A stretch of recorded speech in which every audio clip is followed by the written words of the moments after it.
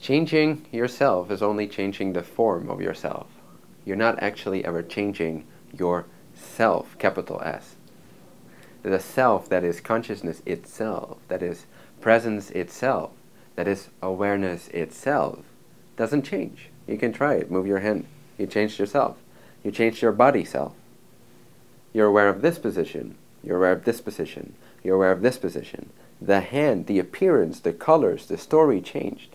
But you were completely changeless at the core of your being, at that isness. If you were not completely changeless, you could not detect change. It's only once we take a rocket ship out into space that we see that Earth is actually moving. While you're on the surface, you have no idea that you're rotating at 1600 kilometers an hour, or something like that. So you take on a position of stability, and due to that innate stability, you can see the change if you're changing along with something, you cannot actually know that it's changing. And since we're always able to see change and memorize what happened to us, we are able to perceive change.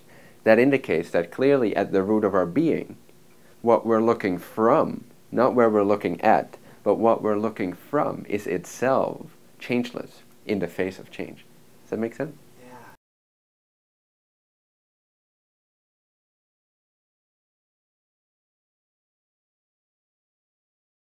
Yeah, just picture yourself 10 years ago and see that you, the you that was seeing you, the you that was seeing your body, your mind, your personality, your ideas, the seeing of that never really changed.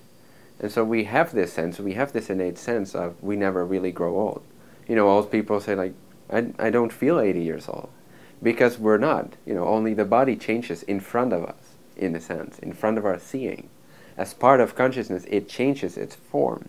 But consciousness itself is beyond time, it's not timeless. So to try the idea to try and change your personality in order to arrive at a deeper truth is not really valid.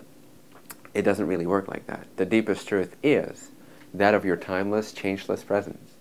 And to touch in with that, to touch base with that, is to bring about the qualities that are inherent in that love, compassion, understanding, a sense of unity and connect connectivity, belonging to all that is. All of these qualities will become infused into your personality if you simply touch base with that which always already is here. Through the two to five seconds of complete relaxation of thoughts and ideas and expectations, and just through tasting that changeless isness of consciousness, right here. Hmm. It relaxes the personality structure and actually allows it to re-emerge after those few seconds with a renewed with a renewed quality of being, a renewed heightened frequency of existence infused with those qualities that we keep at bay by trying to change ourselves and identifying ourselves with the changing.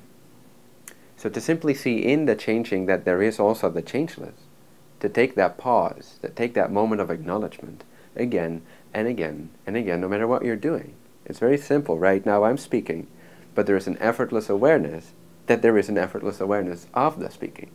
And so I'm not even actually lost in the speaking, I just witness myself speaking.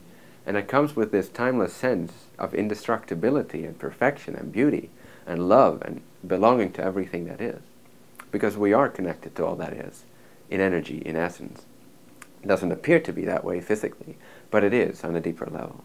Therefore, it also is true on the physical. So the change never has anything to do with the changeless. It doesn't actually cancel out the changeless. So whatever is happening, we can simply recognize the changeless in that change, and in that change, and in that change. So it takes away the focus of the changing as if that's so important, and emphasizes what's more important, the deeper truth of yourself, which is the isness of this moment.